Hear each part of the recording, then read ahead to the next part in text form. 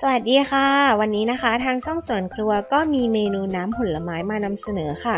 ผลไม้ที่เราจะทำน้ำในวันนี้นะคะ ก็คือมัลเบอรี่หรือว่าลูกหม่อนนั่นเองค่ะ เป็นผลไม้ที่มีประโยชน์ค่อนข้างมากนะคะ อุดมไปด้วยวิตามินซีวิตามินอ e, ีวิตามิน K1 ธาตุเหล็ก แล้วก็โพแทสเซียมค่ะ ที่สำคัญยังเป็นแหล่งของสารต้านอนุมูลอิสระด้วยนะคะ ถ้าหากใครไม่ชอบทานเป็นผลไม้แบบสดๆ แบบนี้เราก็สามารถนำมาคั้นเป็นน้ำมัลเบอรี่ได้นะคะ มีประโยชน์เหมือนกันค่ะ วัตถุดิบที่เราจะต้องใช้สำหรับทำน้ำมัลเบอรี่ในวันนี้นะคะ ก็จะมีลูกมัลเบอรี่หรือว่าลูกหม่อนนะคะ 250 กรัมค่ะ น้ำตาลทราย 200 กรัม แต่ว่าสามารถปรับเพิ่มลดได้ตามความชอบนะคะ แล้วก็เกลือ1ทับ4ช้อนชาค่ะ โอเคค่ะ เราไปเริ่มทำกันค่ะ เริ่มจากนำตัวลูกหม่อนหรือว่ามัลเบอรี่ของเรานะคะ ใส่ลงไปในหม้อแล้วก็ตามด้วยน้ำเปล่าสะอาด 1,500มิลลิลิตรค่ะ จากนั้นนะคะเราก็จะตั้งไฟปานกลางค่ะ ตั้งไฟไปเรื่อยๆ จนกว่าน้ำลูกหม่อนของเราเนี่ยจะเดือดแล้วก็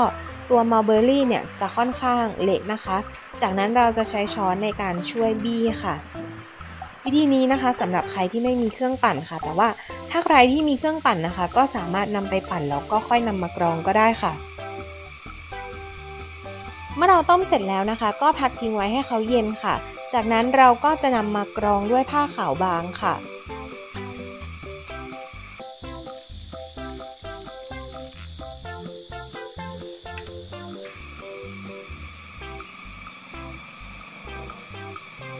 เมื่อเรากรองเสร็จแล้วนะคะ ให้เรา บีบในส่วนของกากตัวหม่อนด้วยนะคะ เพราะว่าตัวน้ำที่เข้มข้นเนี่ยจะอยู่ในเนื้อของหม่อนค่ะ บีบจนเขาหมดน้ำเลยนะคะ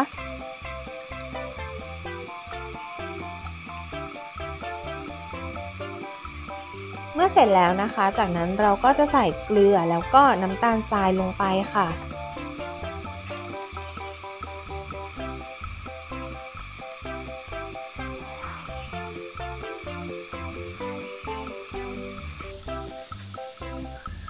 หลังจากที่เราใส่น้ำตาลแล้วก็เกลือเรียบร้อยแล้วนะคะ ก็ให้เราตั้งไฟปานกลางไปเรื่อยๆ จนกว่าตัวน้ำมัลเบอรี่ของเราเนี่ยจะเดือดดีค่ะ เมื่อน้ำมัลเบอรี่เดือดดีแล้วนะคะ จากนั้นก็ให้เราปิดไฟแล้วก็พักเอาไว้ให้หายร้อนแล้วจากนั้นถึงค่อยนำไปจัดเสิร์ฟค่ะเพียงเท่านี้ก็เรียบร้อยแล้วนะคะสำหรับน้ำมัลเบอรี่หรือว่าน้ำลูกหม่อนของเราในวันนี้ค่ะ เป็นเมนูที่ทำง่ายแล้วก็มีประโยชน์มาก ๆ เลยนะคะ